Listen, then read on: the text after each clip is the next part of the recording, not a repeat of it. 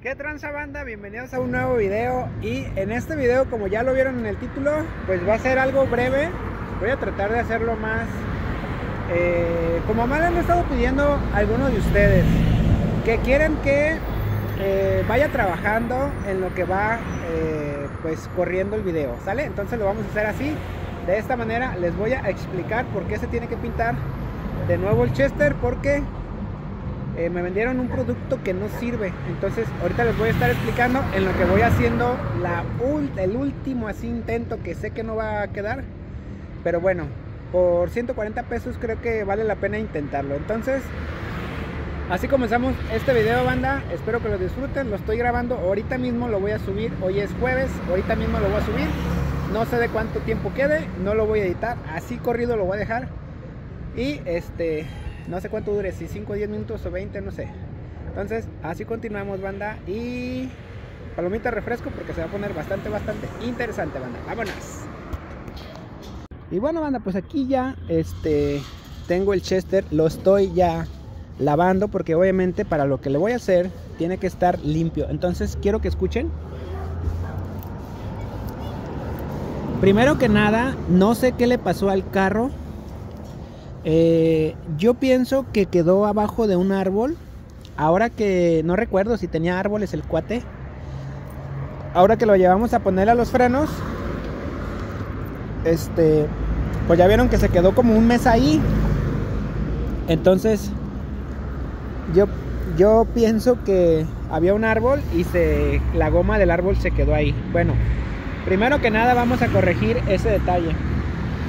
Pero lo que yo les decía, banda, es algo pues sumamente delicado y esto es neta, no es porque yo quiera hacer un video más ni nada, o sea, quiero que vean, déjenles pongo la luz, quiero que vean la cantidad de hologramas y de que el carro está dañado, toda la pintura está igual, vean. Aquí yo ayer lo pulí, pero vean ya cómo está ahorita. Si yo le pongo la uña, voy a ver si se puede. Sí, la uña se marca, banda. ¿Esto qué quiere decir? Yo ya fui con expertos, yo ya pregunté. Ahorita vengo de con una persona que es experta en el en estos materiales debido a que él los vende y también pinta autos. Bueno, ahí les va, banda. Como les decía, Primero que nada, lejos de que el carro tenga piel de naranja, lejos de que el auto no tenga el brillo, lejos de que no tenga eh, la resistencia pues que se requiere para que no se raye o que esté con hologramas, lejos de cualquier cosa, lejos de, de, ah, yo soy bien mamón y yo quiero que mi carro esté impecable, lejos de todas esas mamadas, banda. Lo más importante es que el transparente que me vendieron, que me vendieron como muy bueno, sinceramente, eh, es una porquería, es una basura de productos. ¿Por qué, banda? Yo asenté el carro. Perdón, es que nos pasan carros aquí en la calle. Yo asenté el carro y al momento de estar yo asentando, me di cuenta que el transparente estaba muy raro y yo lo dejé secar como un mes el transparente, que más o menos son entre 35 y 40 días de secado. Yo ah, ya con lo que lo estuve asentando, con la semana que me, me tardé en asentar todo, fueron aproximadamente 35 días que yo me esperé para pulirlo. Bueno, no es el primer auto que pulo, no va a ser el último y este es el único con el que estoy batallando. Eh, este carro lo lavo y de no tener ni una sola raya, ni una sola raya, se raya. De acabarlo de pulir, de darle sus cortes, sus dos cortes con los productos eh, Finish, Finish Wash, ya vieron por ahí que yo estoy eh, pues usando esos productos de esa marca. Este Afix.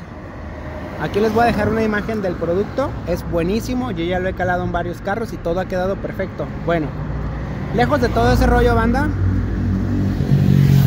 Yo me he dado cuenta que pasaba con el pulimento. Le daba una pasada, quedaba hermosísimo, todo al 100. Y al momento de yo pasar la franela, en ese momento se volvían, se empezaban a hacer rayas y rayas y rayas y rayas y rayas. O sea, cada vez más banda. Bueno, dije, no hay pedo, eso no me preocupa. O sea, realmente eso es estético, ¿verdad? Entonces, al momento que yo necesito asentar para quitar la piel de naranja que tenía el carro, eh, independientemente que si fue por frío, que si fue por mucha presión, por, por poquita presión, independientemente la piel naranja pues se, tiene, se quita con la lijada. Estamos de acuerdo hasta ahí, ¿verdad? Pero ya no tengo piel de naranja, ese no es mi problema. Mi problema es que el transparente chingó a su madre ya. Así de fácil. Vean aquí. Y no es aquí nada más, es aquí, aquí, acá. De hecho el cofre, o sea, yo ya lo pensaba volver a sentar y a volver a pintar otra vez. Eh, de este lado, de este lado, o sea, aquí le pasé poquito más la pulidora y luego luego se, se acabó. O sea, el transparente es una basura. Y lo más grave es aquí. No sé, es que me cae regordo que no se ve. Ah, que me cheque. ¿Ven? O sea, esto quiere decir que ya no tiene transparente, banda. Esto ya es la pura pintura. Y toda esta línea, vean. Entonces, yo no le puedo pasar poquito la, la borrega o la esponja o cualquier cosa con el pulimento, con la cera, con porque ya, se, ya el transparente se acabó como que si ya lo hubiera eh, pulido y lijado tres o cuatro veces, banda. Entonces eso no es posible, o sea, no puede pasar eso. Entonces, por eso es que lo... Ah, qué buen chipote trae aquí, ¿eh? Miren. Este... Por eso es que lo voy a pintar de nuevo, banda. Ya sé que van a decir, bueno, mames, lo pinta cien mil veces y que...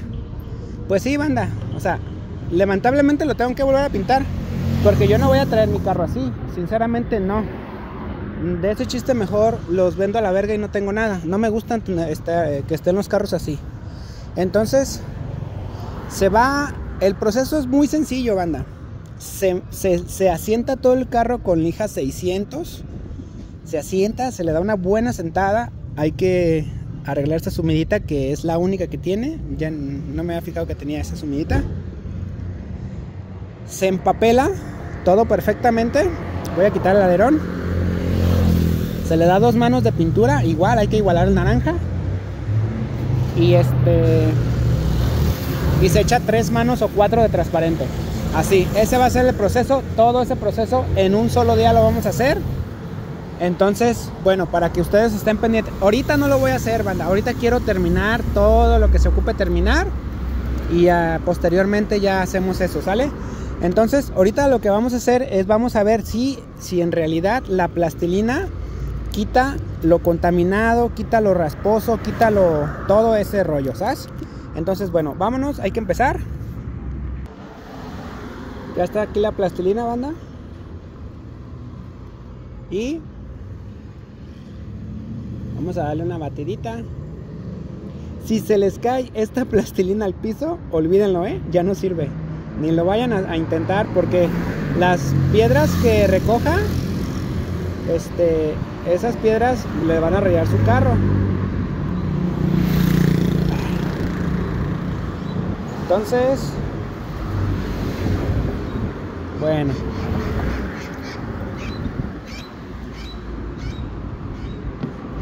Mojan y lo pasan como si lo estuvieran lijando, banda.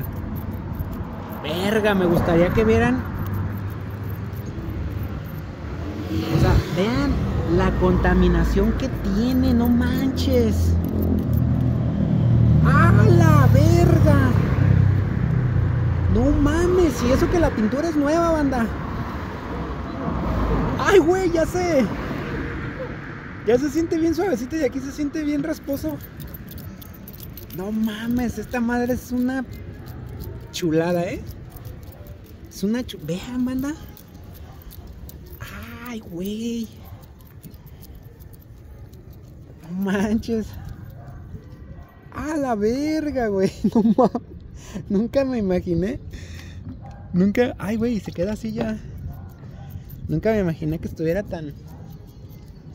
tan sucia, No manches. Entonces, bueno, déjales, les hago un cuadrito y ahorita lo seco y ya le pongo el, antes y el después, ¿van Para que no se haga tan largo. ¿Y aquí también lo quita o no? No, esto ya no lo quito.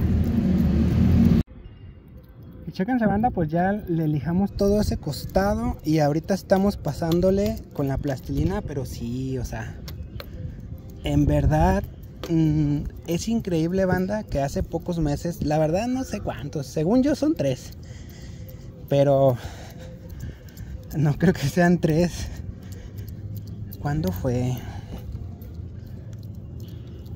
Pues en el, en el evento de Aguascalientes, en el festival me lo llevé y ya estaba pintado ahí.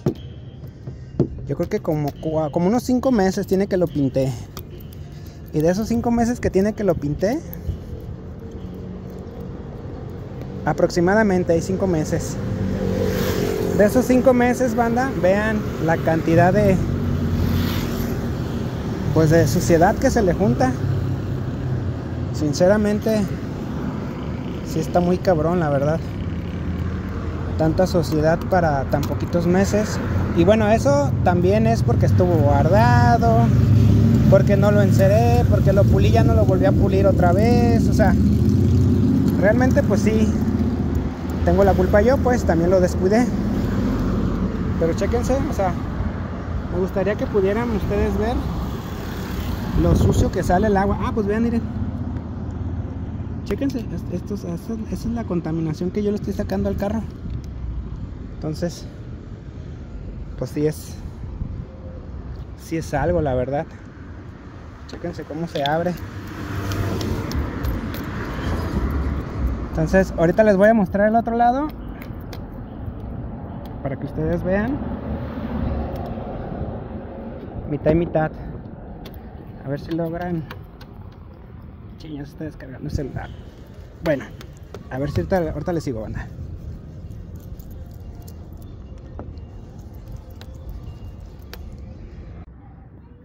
Y bueno, banda, ahí quedó. Ahora sí, chéquense, ya está como mis nalgas bien suavecito, bien bonito, bien todo.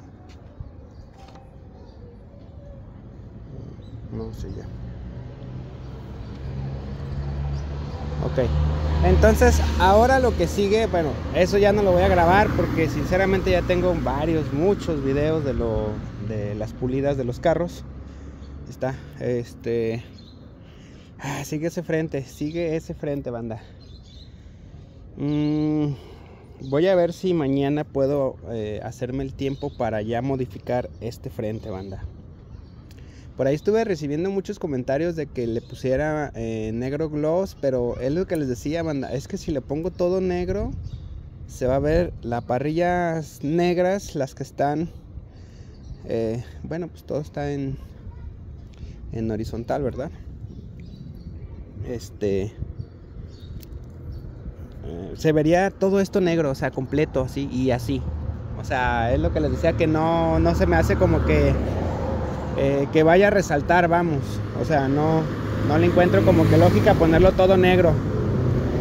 Entonces, ah, es que sé que el negro sí le quedaría bien, banda, pero pues, no se va a, no se va a apreciar, vamos. En el día tal vez se vea bien, pero en la noche se va a ver ahí como una pinche nariz negra con una boca ahí sonriendo, no sé.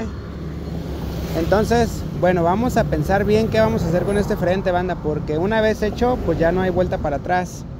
Y la neta, el vinil eh, no va a quedar bien porque el vinil es hasta acá y luego está la parrilla esta y es un desmadre, es un desmadre. No creo que sea tan buena idea en este caso, banda.